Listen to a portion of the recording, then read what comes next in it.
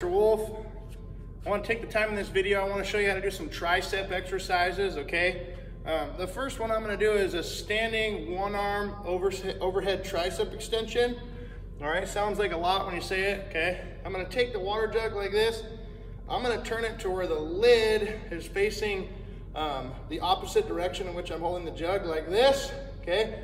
I'm going to come down behind my head, my arm is at a 90 or a little bit uh, less than a 90, probably about a 70 or a 65 degree angle. And I'm gonna come back up.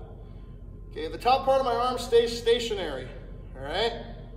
Okay, one more time. We'll switch arms, okay? Going with this arm here. I'm gonna come up, okay? Just like this. Okay, this part of my arm, remember, stays stationary, it doesn't move. Just this part right here is the lever, okay? All right, that's our standing one arm overhead tricep extension, all right? The other way I wanna show you, okay, um, is seated. So I'm gonna do them seated. Okay, a lot of times you do exercise seated because it isolates the exercise more and forces you to use those muscle groups rather than some of their muscles to stabilize you as if I was standing, all right? I'm gonna do the same movement. I'm gonna come up top, I'm gonna come down, and come back up, down, and back up. Okay, just like this. All right, other arm, let's try the other arm. Come here, down, then back up. Okay, down, back up. All right. Um, the other one I want to show you, you can do it with one or both of the jugs, okay? Um, th this one is an overhead tricep extension where I'm gonna take it like this. A couple ways I can hold the jug.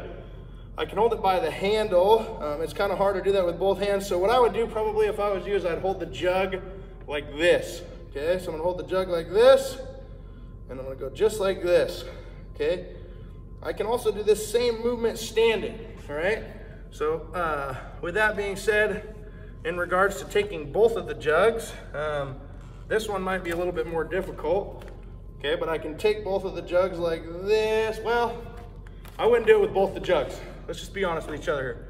Okay, I wouldn't do it both of the jugs, all right? Um, next one I wanna show you is a, um, what's called a kickback. Okay, so again, you're gonna need something that uh, resembles some form of a bench, right? Um, you could even do these on a chair. You could do these standing as well, bent over something. Um, I'm gonna use this box right here. I'm gonna put uh, the knee opposite the hand, the hand that has the jug on the box. I'm gonna come like this. My arm is at a 90 degree angle right here. What I'm gonna do is I'm gonna extend with my jug straight out, come back down. Extend with my jug straight out, come back down. Okay, other arm, I'll flip it around.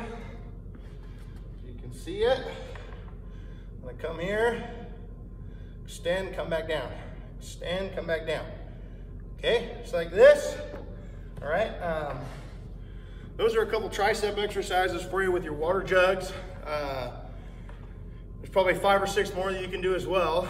Um, with that being said, uh, thanks for joining me and uh, let's keep getting fit.